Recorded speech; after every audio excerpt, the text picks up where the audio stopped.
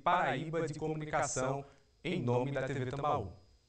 A Rede Tambaú de Comunicação encerra o Tambaú Notícias de hoje se solidarizando com o empresário Eduardo Carlos, diretor-presidente da Rede Paraíba de Comunicação, pela morte do filho dele, Matheus Carlos. A Deus pedimos que conforte a toda a família. Até amanhã.